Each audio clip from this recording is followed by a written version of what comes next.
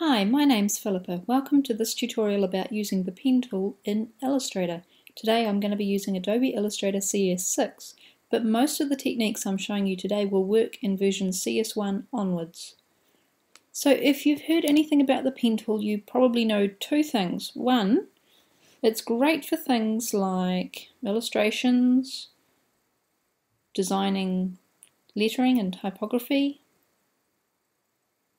cartoons, creating shapes that you can't create with just your regular old rectangle and ellipse tools. And of course, it's great for logos and stuff like that.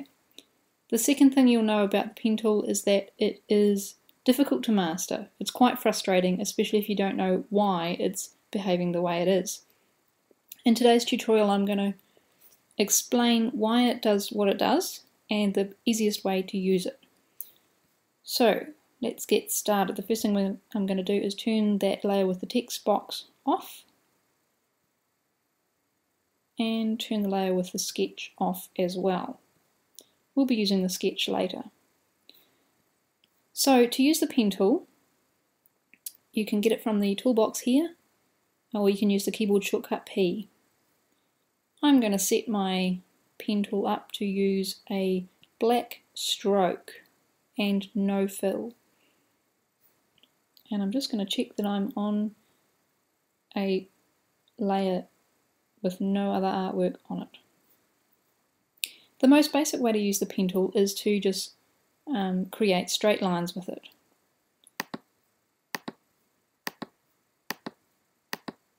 Each time I click, I'm creating an anchor point. Sometimes this is also known as a node, but we'll call it a point. Each point is joined to the previous point by a line segment. And if I go all the way around and click on the first point I made, I get a little circle icon, which will mean it's a closed path. From then, once I've closed that path, when I start clicking again, I'll be working on a new path. When, it, when the path is not closed, like this, that's called an open path. If I wanted to start creating a new path before I'd close this one up, I'd have to deselect this path first. Ways you can deselect the path, you can choose select, deselect, or you can use the keyboard shortcut Shift Command A. So I'm going to do that.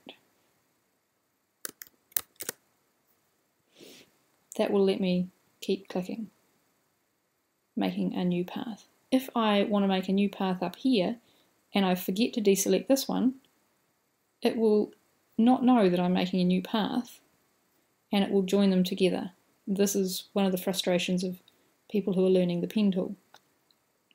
Okay, so I'm going to delete those. I'm just going to get the black arrow tool, the selection tool. Keyboard shortcut is V. I'm going to select all of that and just delete it off. Go back, get the pen tool.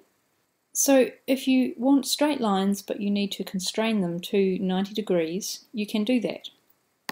Hold shift and you'll get perfect horizontal, perfect vertical, or perfect 45 degree angle lines. I'm just holding shift, that's all I'm doing. Illustrator is deciding which angle line to give me based on where my cursor is. So if I hold it roughly horizontal, I'll get a horizontal line. If I hold it roughly 45 degrees, I'll get a 45 degree line. And if I hold it vertical down, I'll get a vertical line.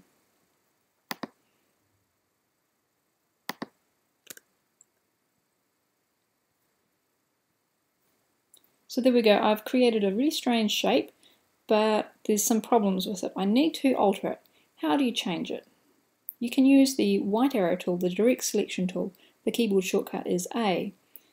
Now the, this tool is great for selecting inside stuff, so you can click on things inside groups or inside objects. In this case we want to select the anchor points inside the object that I've drawn here.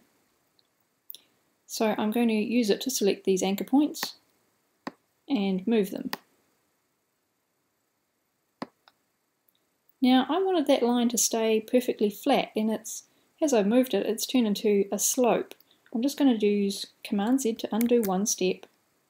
And this time, as I drag it, I'm going to hold down Shift as well, and notice that that constrains the way that I'm dragging this point to perfectly flat. So you can use shift to drag things around and keep them constrained. You can also drag whole line segments. So for instance, here's a line segment. If I use the white arrow tool, I can actually grab that and move it around. Much like a trapeze swing, it will alter the lines on either side of it. So those are some basic ways to change the position of points and the position of lines. Using the pen tool, you can add extra points. So if I want an angle, a triangle up here, I will need a third point at the top of the triangle. I'll add a point using the pen tool. The way I did that, I just got the pen tool from here, moused over a line segment, and you can see when you go over a clear line segment, you get a little plus symbol. If you click, you'll get an extra anchor point. I'm going to get my white arrow tool, grab that point and drag it up and I've got my triangular shape there. If I decide that I want to get rid of an anchor point, I can do that as well. Also using the pen tool. Get the pen tool, mouse over an anchor point and you'll get a minus symbol. Click and you will delete that point. Okay, now let's learn how to use the pen tool for drawing curves. I'm going to delete what I've drawn here grab the pen tool and look at how to draw curves. So I'm going to start with a single click and then I'm going to move my cursor and then I'm going to click. This time I'm holding the cursor down, holding the mouse button down and I'm dragging. So that's a click and drag.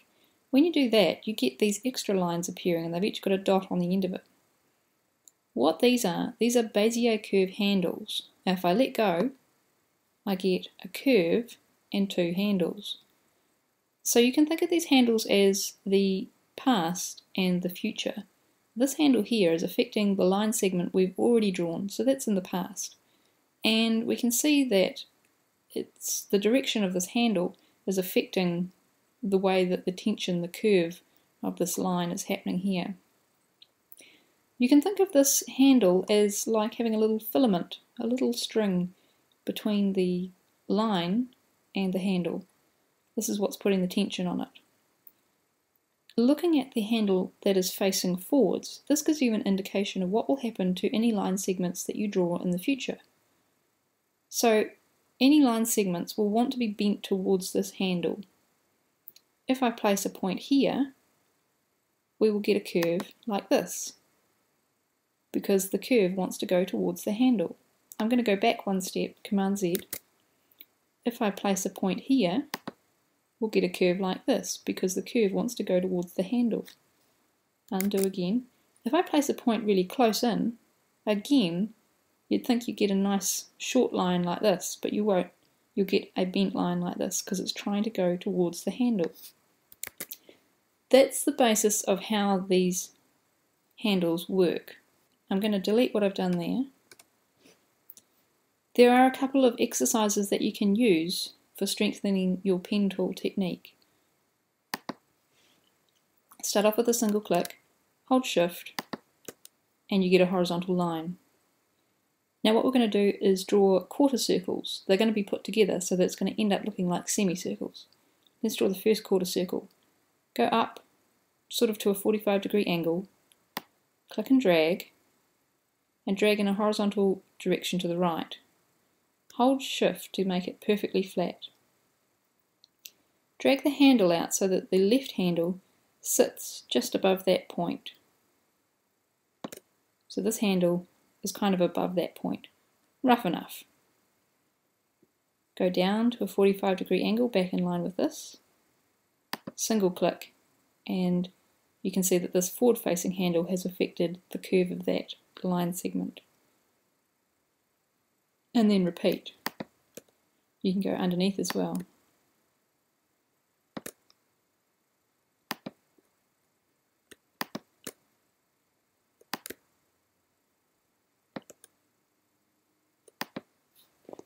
So this is really a great little technique for strengthening your pen tool technique and getting used to using the keyboard shortcuts.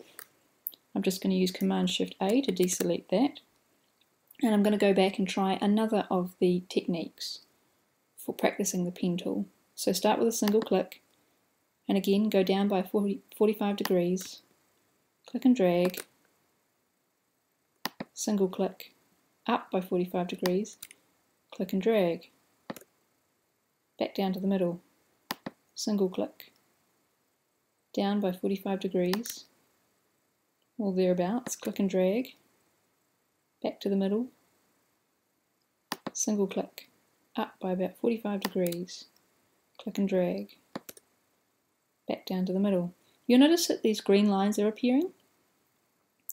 They are alignment guides, part of the Smart Guides feature of Adobe Illustrator, and if you want those to appear, you can get them by going Command K or Control K to bring up the Preferences panel, and you can turn them on there.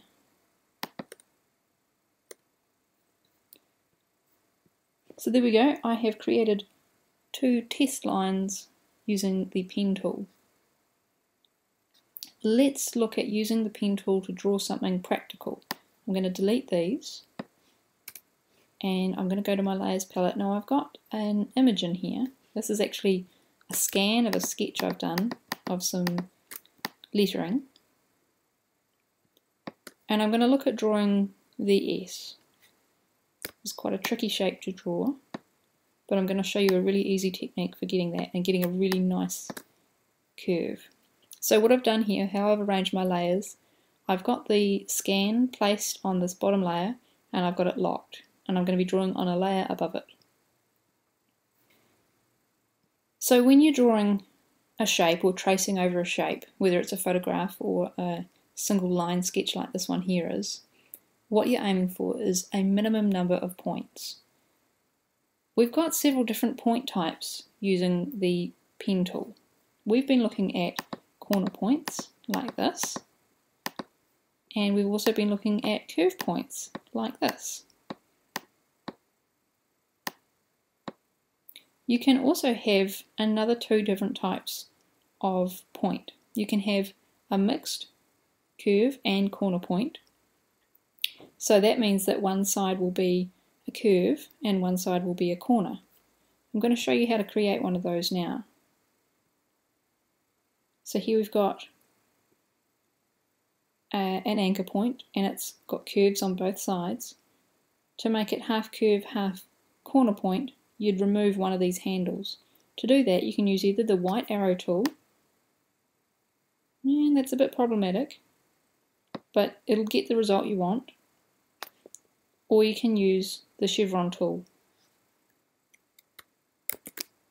Just use Command Z to go back, press P to get the pen tool. To get the chevron tool, I call it the chevron tool, that's not its real name. Its real name is the convert anchor point tool. You can get them from over here, but that's a lot of work.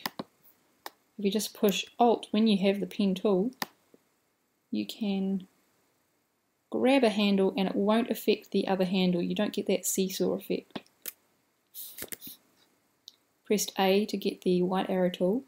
So now I've got one curve handle on this side and no handle on that side. So this is half corner, half curve. The fourth type of point you can have is a, it's still a curve point, but the curve is not aligned. So when you've got the white arrow tool like this, and you drag on the handles, you notice that you get that seesaw effect. As long as these two handles are perfectly flat and aligned, you'll get a reasonably smooth curve. When one of them is not aligned, then you get kind of a reflex curve. So to do that, you do need to get the pen tool, use P, then press Alt to get that little chevron tool, the convert anchor point tool, and you can break that seesawness.